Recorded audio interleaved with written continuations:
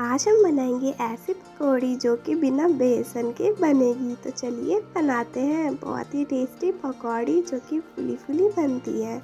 तो यहाँ पे मैंने आलू लिया है चार। इसको मैंने अच्छे से छिल लिया है और इसको अब हम कद्दूकस कर लेंगे।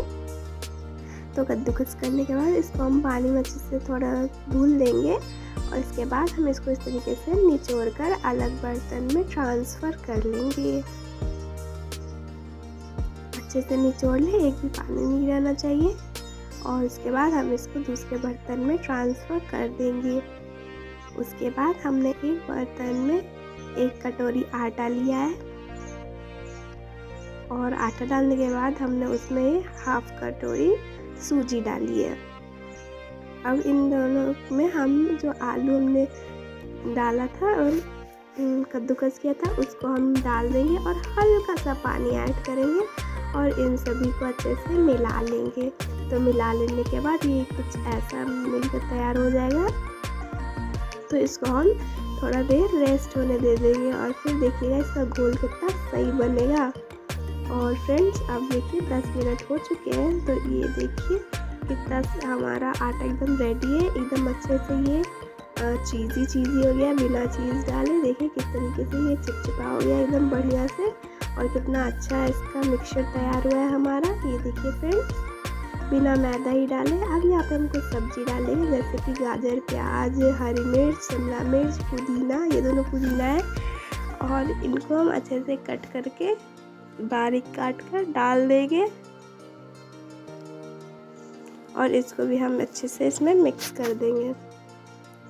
साथ ही में हल्का सा स्वाद अनुसार नमक डालेंगे और हल्का सा पानी डाल के इसे हम अच्छे से मिक्स कर देंगे। इसमें ज़्यादा मसाले नहीं लगते फ्रेंड्स बस कुछ ही चीज़ों से ये एकदम टेस्टी सी नाश्ता बनकर रेडी हो जाती है। और देखिए कितना सही बन रहा है। और हाथों की मदद से हम इसे अच्छे से मिला लेंगे। अब यहाँ पे मैंने थोड़ा वाइट तिल डाला है। आप चाहो तो डालना, ना चाहो तो मत डालना। अब यहाँ पे मैंने तेल गरम कर लिया है तो अब हम इसको इस तरीके से छोटे छोटे बॉल्स में इस तरीके से फ्राई कर लेंगे डाल के।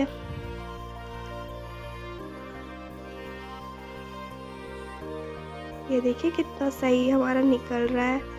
अब इस तरीके से हम अच्छे से इसको बना लेंगे।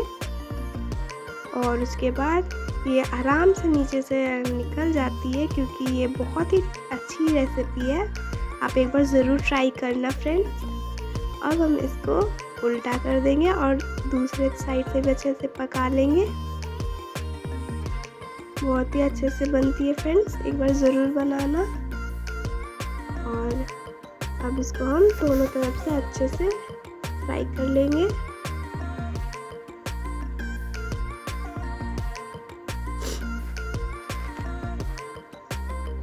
गाइस अगर आपको आज की रेसिपी अच्छी लगी तो मेरे चैनल को ज़रूर सब्सक्राइब करना। और अब हम इसको निकाल लेते हैं। इसी तरीके से हम दोबारा भी बना लेंगे। तो तेल में फिर से डाल दें। इस तरीके से छोटे छोटे पकौड़ियाँ।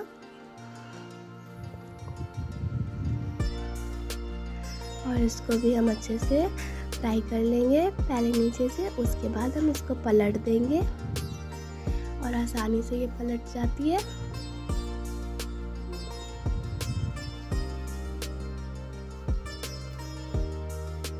और ये देखिए फ्रेंड्स, इतना अच्छे से ये पक रही है।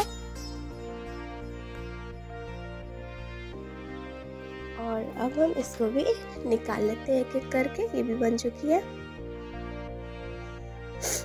इसका आप एक और रेसिपी बना सकते हैं, तावा पे डाल के, जैसे नॉर्मल छिलका बनाते हैं, वैसे ही।